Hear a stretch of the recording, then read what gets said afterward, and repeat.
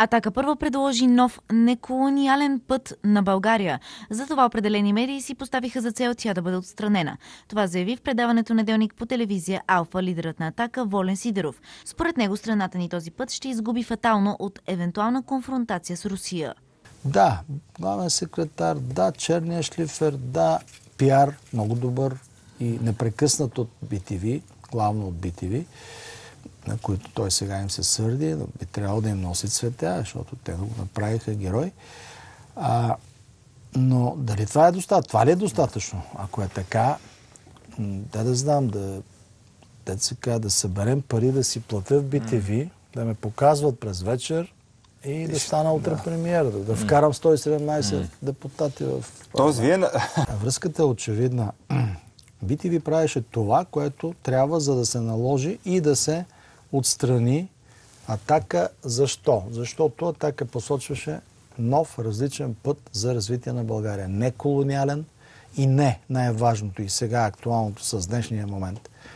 А, България, която да не става фронт, военен фронт, част от е, една, как, една постоянна е, стационирана военна база срещу Русия, защото ние вече, вече сме такава.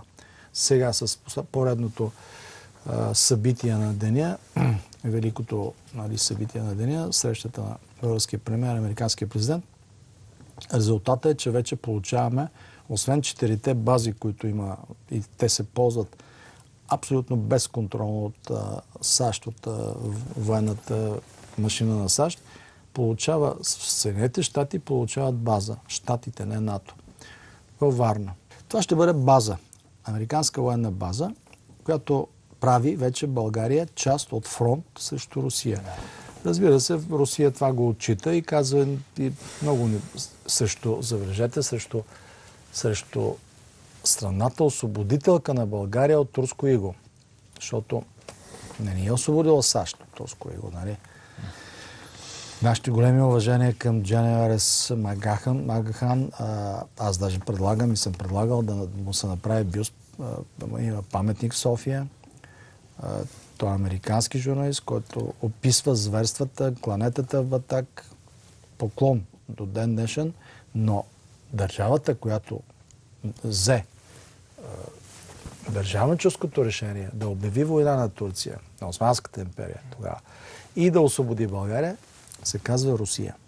Не е Германия, не е Франция, не е Финландия, Холандия, Нидерландия, Белгия. Сега България я принуждават да стане фронт срещу своята освободителка. Разбира се, българите като народ, като общество са против това. Те не го искат. Само, че какво да направят? Това го решават елитите. Държавният елит отива, Каракачанов поддънки, с дисаги, без дисаги, слиза, избелва си вече той, той е избелен, той е да. от доносник на държава, на политическата полиция, на комунистическата политическа полиция. От човек с забрана Която... да влиза в Съединените щати, господин Сидоров, знам, имаше може така да, забрана. Може да има забрана. А, Изведнъж? От, да, ВМРО, като, която се водеше, се е водила доскоро в списъка на терористичните организации на Балканите, която е правила отвличания, бомбени атентати и прочее. Още в британските служби се води като терористична. Всичко това сега се избелва. А като добавим и 2 милиарда платени на САЩ в аванс, пълно, в пълния, пълния размер, срещу нещо, което не, не е ясно дали ще го получим, а, ние ставаме на всичкото това отгоре, значи на, също това нещо, ръководството на държавата е потупано по рамото от големия брат. Обаче населението, България като държава е сложена под риск.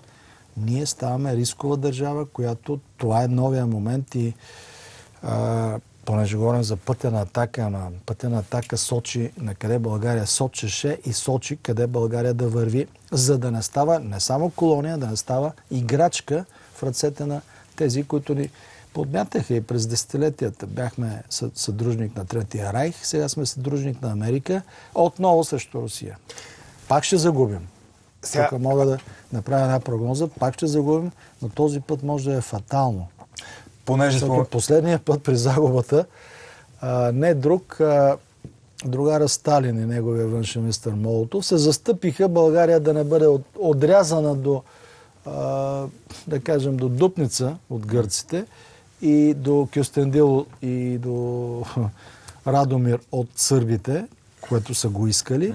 И са казали, не, няма да я режете, това ще остане както е така.